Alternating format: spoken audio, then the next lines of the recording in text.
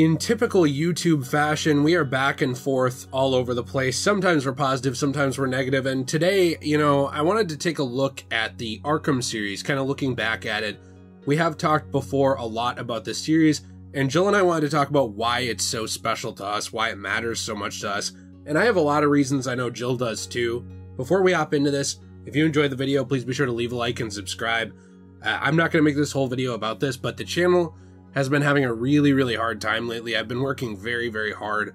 Honestly, harder in the last year than I have ever in my life, to the point where it's detrimental to my health. And no matter really what I do, for some reason YouTube wants this channel to fail. I don't really know why, no matter how much it grows and how much we do. Uh, so your support means a lot to us and we really appreciate you. Not only that, but you've also been working really hard on my channel. That's true, Magical Jill, where we review toys and do other stuff like that. So the link to that is in the description down below if you want to check that out. I wanted to say with Arkham, though, there are so many things to me that are special about it outside of the nostalgia. For example, the relationships in this. I think the relationship between someone like Batman and Joker is probably one of the best explored. A lot better than the Bat family's done in this. A lot of times they take, you know, the back seat. Now, admittedly, I have a lot of nostalgia, I would say, for this series, but there's a lot of stuff I like outside of the nostalgia as well, and I'll kind of talk about both. For me, one of the big things with this series is just the dialogue, the characterization, especially of Batman, and the idea of going up against overwhelming odds and still pushing through it. I think that's something that always really connected with me when it comes to Arkham, because it's pretty much always like, I guess, a one man army. You know, it's always like this idea of this guy is up against impossible odds. How can he do this? He's not even a superhuman, but he's still able to do it.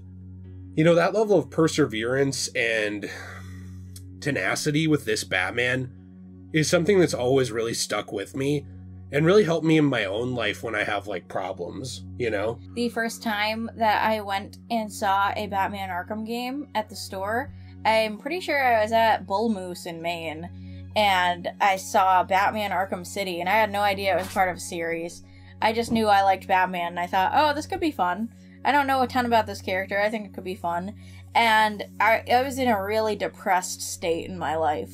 And when I started playing that game specifically, it gave me so much joy. And then I ha- had to buy every single other one of the games and play all of them. And it just made me feel like I could do anything for a little while and like I wasn't so sad anymore. And I think that's one of the biggest reasons why I love the series so much is because it was kind of a comfort game in a bad time in my life. And you know, speaking of that too, I think that with this character, that's something that really sticks with a lot of people is the idea of a normal person, right? I mean, yes, I know he has money. Fine. But even in storylines where you take that away, he's still someone who can learn martial arts. Mm-hmm. He's still someone who can travel uh, and and push through things. I mean, you take everything away, even in storylines like Dark Detective and stuff like that. Batman is still someone who can make it on his own. You know, obviously all the money and all this stuff, it amplifies what he's able to do, mm-hmm. especially on like more of a widespread scale. But I think it's really fun to see this guy. He's not Superman, and it's you know no hate to Superman, one of my favorite fictional characters ever. He's not basically a god. He's just a guy and to kind of see him push his own limits and push past that stuff. You know, that's something Kevin Conroy even talked about as well about how much this character connects with people. A big part of it is that he is so human.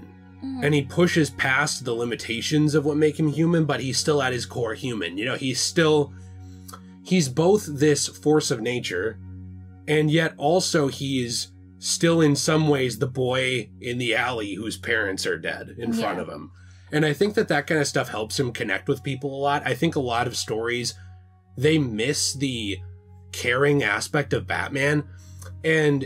But that's one of my favorite parts about Batman. That's what I'm really happy about that they kind of showed in the Arkham series is some of the softer sides of him, even if they're kind of subtle, because it shows that he's still a human and that he's still that little boy who was tortured, you know, in his mind by all of this horrible stuff that happened to him all in a row. Well, that's even one reason I really like something like Arkham Origins that gets a little bit more into the Bruce Wayne side of it.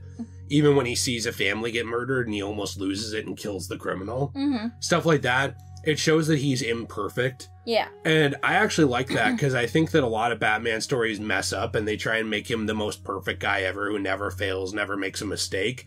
in Arkham, we get to see his mistakes. We get to see things like Jason. You know, we get to see things like his inability to deal further with the Joker before it's too late. And you know, you can say like, well, you agree with his code or whatever, but there is there is an argument to be made as well about the things that Joker is allowed to do in that universe to people especially close to Batman, like Barbara and Jason and others, um, and whether or not Batman could have done more, you know, to prevent that kind of stuff. I think that that kind of that failure that you get to see and yet pushing past it, not like just giving up. That was something that really resonated with me, and that was one of the reasons why I really wanted to buy and play Knight so badly is because I knew that was the end of the series, and I was really excited to see it. But I didn't have an Xbox One at the time, Mhm. um, so I literally saved money from birthdays and stuff, like the kind of money my grandpa gave me, for I'm not kidding, like two years to be able to buy an Xbox One to be able to play that game. And I finally got to play it, and I was so excited about it, and I really liked it.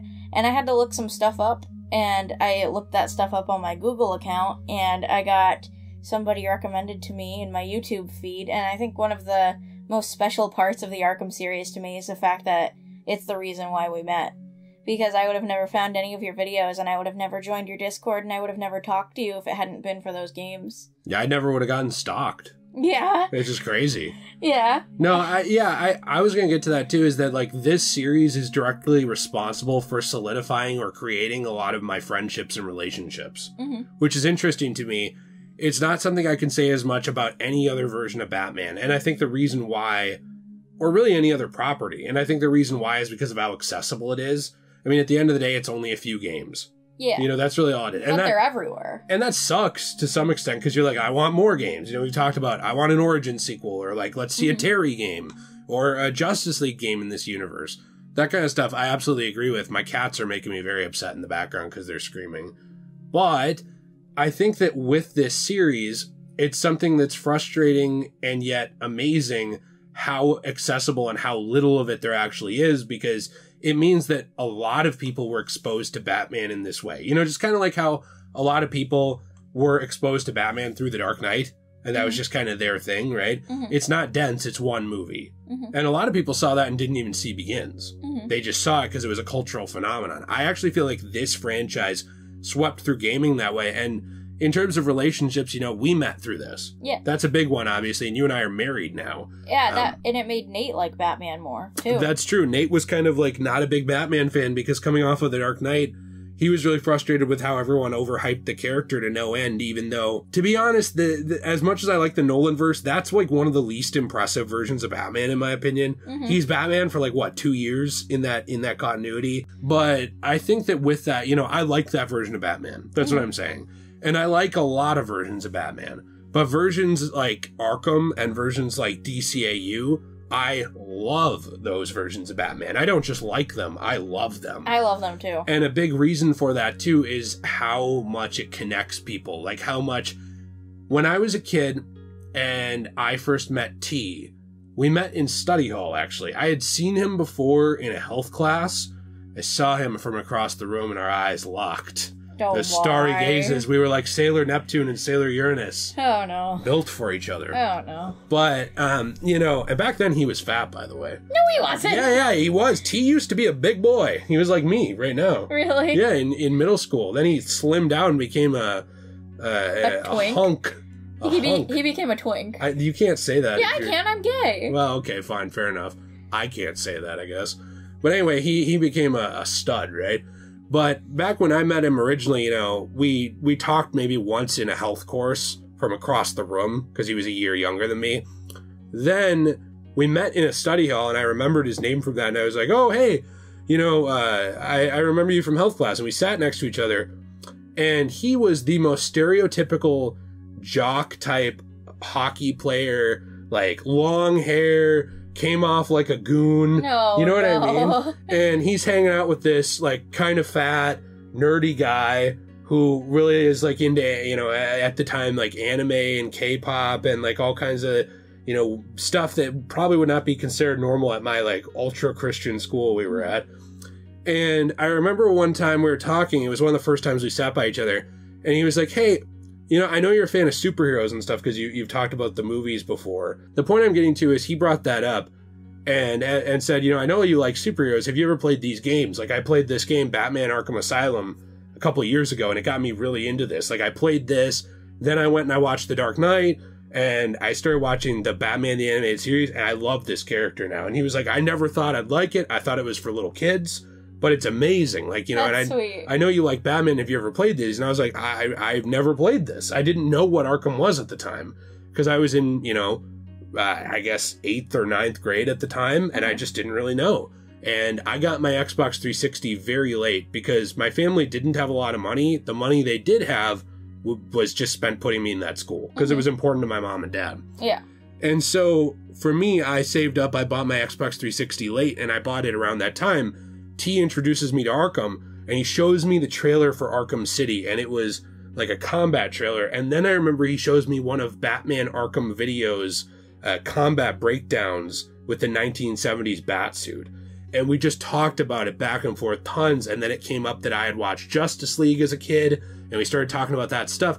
This is how T and I became friends. We hit it off And, through this. and now he is arguably as big of a nerd as you are. Absolutely, yeah. He's not even super into sports anymore. He still is, Right. but like he loves Harry Potter and he still loves Batman. And you get him comic books for Christmas. yeah. And and I always thought that that was really special is that's kind of how that friendship started. And I want to add on to that too with Nate. I've talked about it before with Nate. Luna is trying to do a jailbreak back here. So I'm if you sorry. hear stuff going on, I'm sorry about that.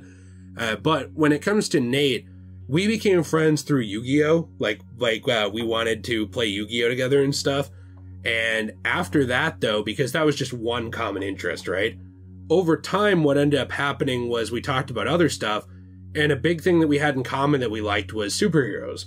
So we went and we saw superhero movies together. Like we saw the first Thor together, and we saw the I think the very first Avengers movie together, and that kind of turned into, hey, have you ever played Batman Arkham? And then we started talking about that. And then it got to the point where he would come over to my house after school and help me with Riddler trophies because I was kind of a dumb kid. I couldn't figure a lot of these out when I was younger. And then I would go to his house later on when he got it on the Wii U. He got Arkham City. Mhm. And I would help him with that too. And it kind of went back and forth. And this is a big part of how our friendship started happening and how we started playing games together. Because Mhm. before that, Nate and I, we both liked video games, but we didn't really play them together. We'd go to movies or play Yu Gi Oh! or stuff like that. The Let's Play channel itself wouldn't even be around if Nate and I hadn't started playing Arkham City together. And I think that's something that's really interesting to me. Like, now I don't mean to to make those stories way longer than our marriage. Like, obviously, of course, I'm very thankful that our marriage came from Arkham, but you explained that story. Yeah, and Um, and I think one of the biggest things about that too is when I was younger, a lot of people in my school weren't super into like superheroes Same. or or video games or anything like that. I didn't really have any friends who were like into that stuff. My a lot of my friendships with other girls had to be revolved around like dumb stuff like makeup, which I still like, but it's not my entire personality. You know, right, big, you had to pretend it was, right? yeah, and a big, like a huge part of my personality is video games, and that's one of the reasons why I became such good friends with my friend Gracie is because she was one of the other only other girls that I knew who loved video games almost as much as I do. Mm-hmm. Uh, and it meant a lot to me, and so I would talk to her all the time about Batman Arkham and stuff, and I'd tell her, you know, I really wish that I could meet somebody who loved Batman and and superheroes and video games as much as I do and like wanted to be with me, you know? And you know, we kind of talked about that sort of thing and I think about it all the time as like kind of wishing that I had more people in my life who cared about those things and I kind of took that leap to join your Discord and try to talk to you and other people in there just because of Batman Arkham. And I think it's really special to me that that ended up being the reason why I became much more of an extroverted person rather than somebody who was just alone and sad and had only one friend. Well, and this too is why I think that when people are like to me, well, Jay, why do you care that the Arkham Origins multiplayer isn't really supported anymore? Like, why do you care about this niche, stupid thing? It doesn't really matter. It's like a big reason some of these things matter so much to me is they have such a personal connection to me.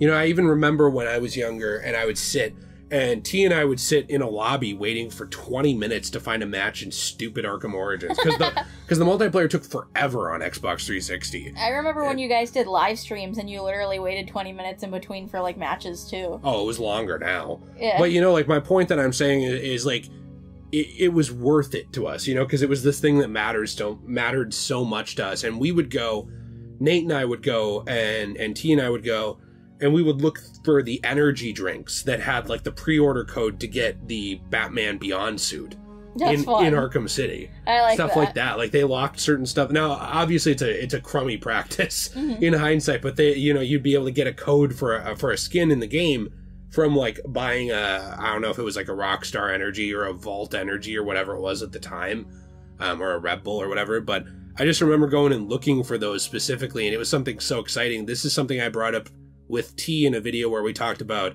Call of Duty. I think that we were the right age when this came out Mhm. you know, where it was like magical to us. And you get into this world and you don't think about the confines of the world.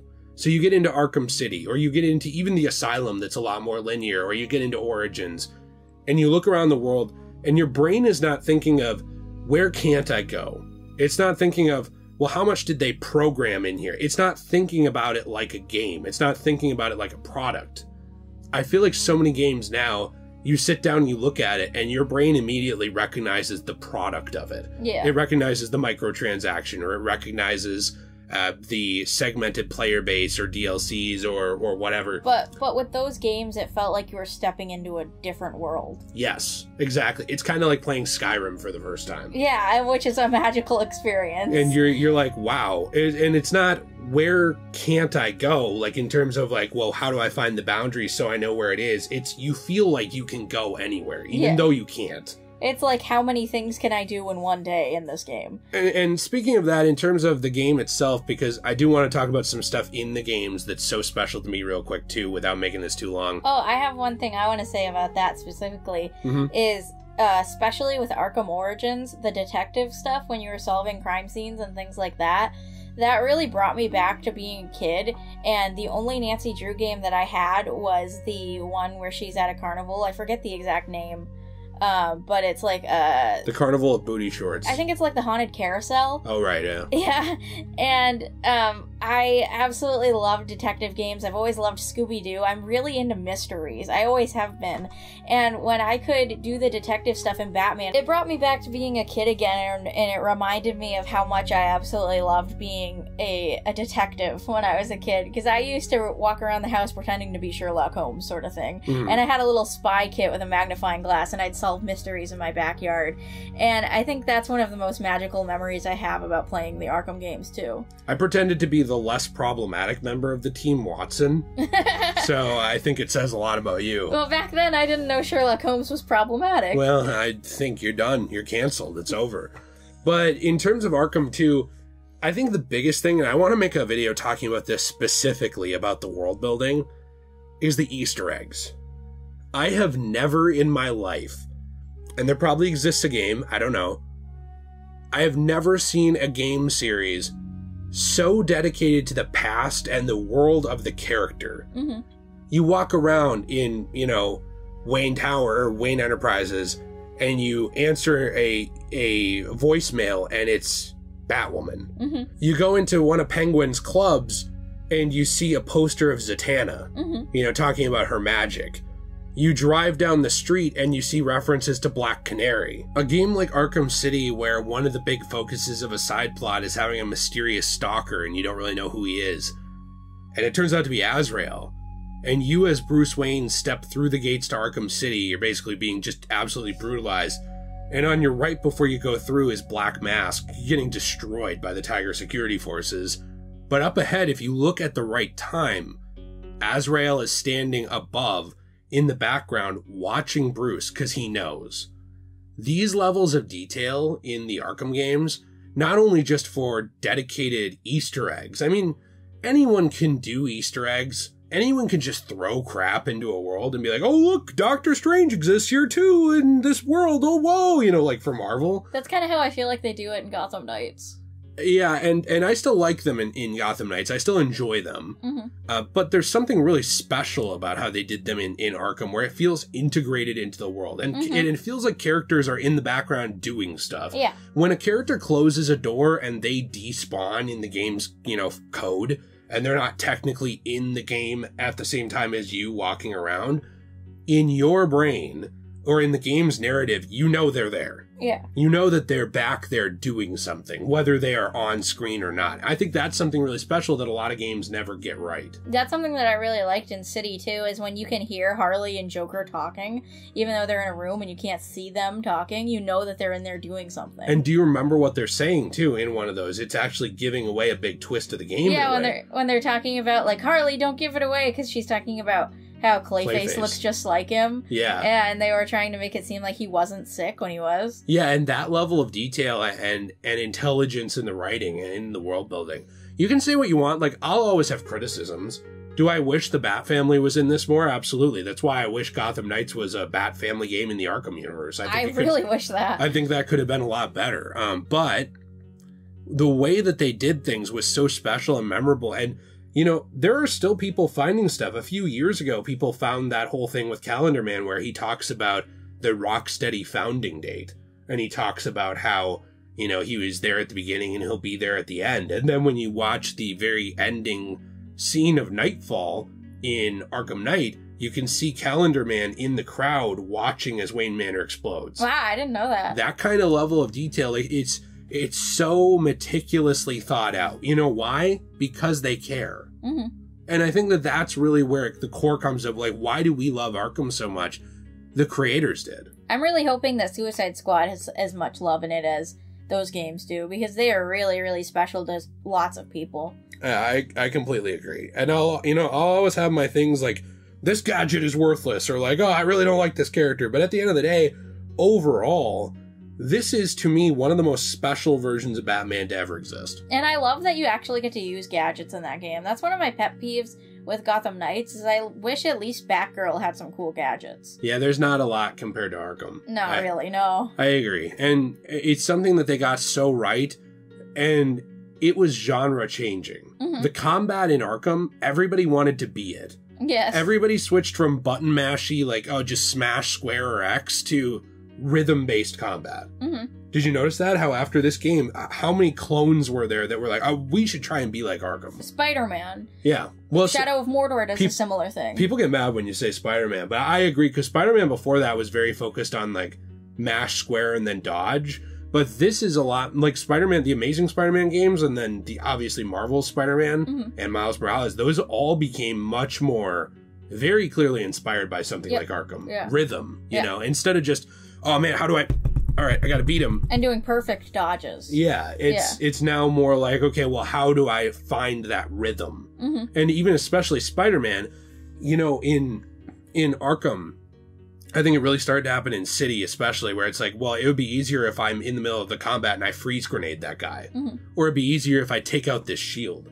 Those kinds of ideas make it so well into something like Marvel Spider-Man. Now that doesn't mean Insomniac's some kind of plagiarist jerk. I think people read into that when you say that kind of stuff. All it means is that this was a really special way to do it, and other companies took note of that and they said, you know what?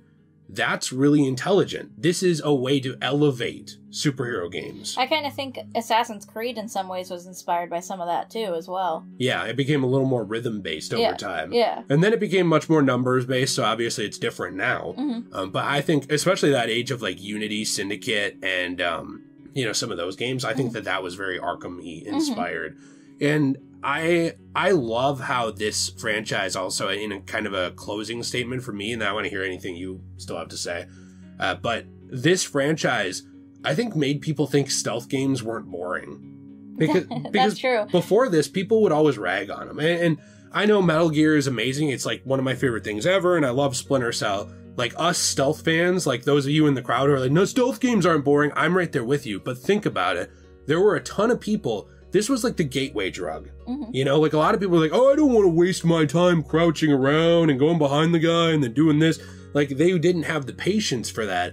But Arkham made you feel like such a badass that people were like, that's awesome. And The- it introduced people into that style of game without them being so impatient. Yeah, the Predator stuff is some of my favorite stuff in the Arkham games. One of my favorite moves is when you're on like a gargoyle above a guy and you wait for him to go right below you and you press Y and you like string him up upside down. It's really funny to me. Yeah, and then you drop him on the next guy. Like if you go to a different one, you throw a batarang at him. Yeah, it's hilarious. It's one of my favorite things. I love that you can do so many different things to take the guys out, and you really have to actually think about it. And you can like plan out your moves. I think that's really interesting and thought provoking. And I've always been really into strategy games, especially. Like I play management games for fun. It's it's really cool just how this game series affects people and how passionate they are about it too.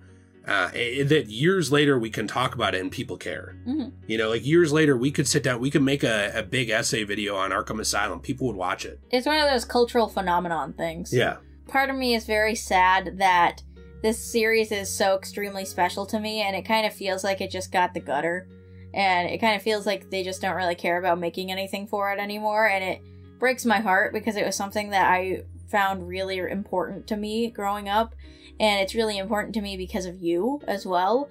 So the fact that it kind of feels like it's just kind of been thrown away kind of feels like a breakup in a lot of ways. It does too, especially because they never did anything to improve Knight in terms of like make it run on newer hardware, or, like fix it up. Um, the Arkham Return to Arkham remasters, even if you enjoy them uh, in the audience, they are half-hearted.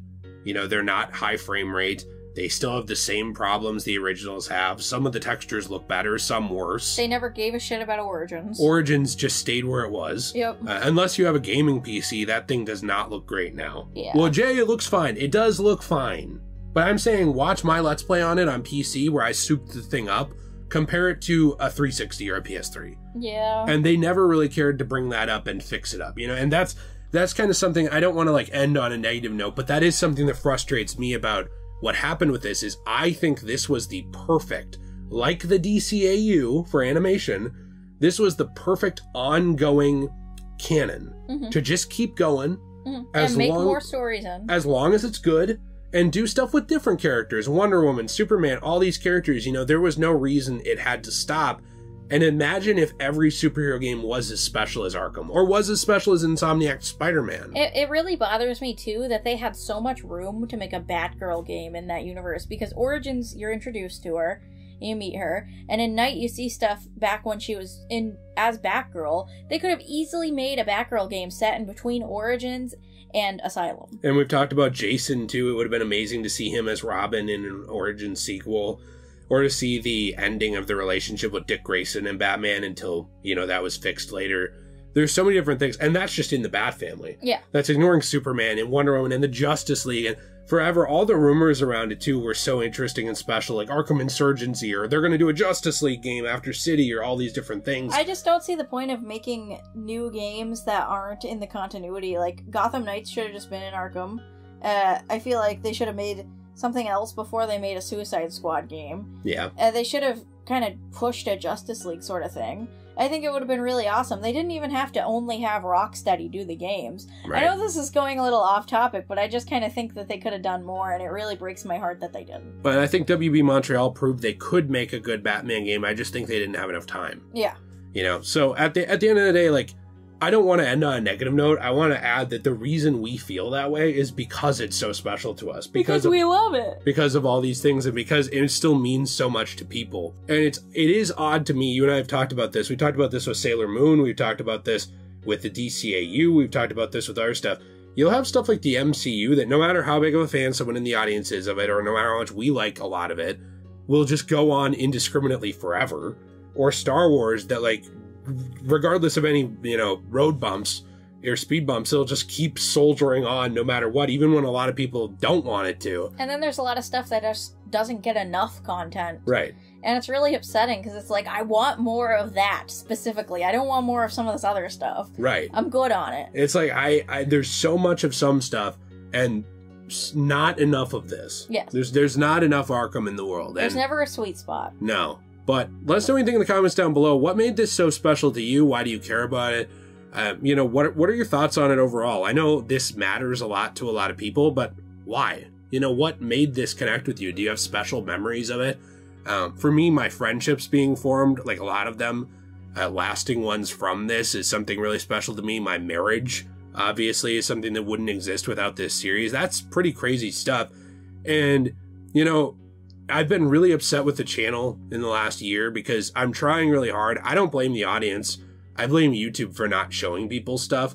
Um, but regardless of that, I wouldn't have ever been put in a position I am in where like there are dedicated people who are interested in this channel without Arkham. Mhm. You know, because it's something that united us. hmm And even though we talk about different stuff, it'll always have that spark of like how we all found each other. hmm I think that's something really special that I, I, you know, no amount of like corporate mismanagement or not caring can ever take that away from like the core quadrilogy of Arkham games. It's like what Taylor Swift says. We all have an invisible string tied together to all of us. and I'm super hot. She said that too. That too. That too. She said that. Let us know what you think in the comments down below. If you enjoyed this video, please be sure to leave a like and subscribe. We appreciate you very, very much. We hope you have a fantastic day, everyone. Uh, if you want to support this channel, you know, leaving a like, subscribing, talking in the comments, those things all really help. If you ever want to share the video with anyone, family members, friends, or on social media, those things really help us out too. Mention Enchanted Glamor. We do have a store, Degenerate Jay Store, which is degenerate, J A Y store.com, It's which is also Enchanted Glamor, which is G L A M O R dot yes, it's enchantedglamor.com first. It's Degenerate, Degenerate Jay Store second. Get it right. Anyways, awesome, really high quality comic book resin pieces there from recycled comic book pages that were getting thrown out. Really cool coasters, uh, keychains, Jewelry. jewelry as well, like really good jewelry and stuff like that as well. Awesome jewelry, actually. The best jewelry you'll ever see. Some people say they buy it bigly. I don't know. I don't know. yeah, it's a great site. And we also have a Let's Play channel, Degenerate Plays, where we play through games together and hang out. So we hope you'll check those things out. Right now, we're playing through Assassin's Creed Brotherhood and Gotham Knights, actually. So, oh, also Monster High. Yeah. So we'll see you in the next one. Have a fantastic day. And as always, everyone, Stay shui.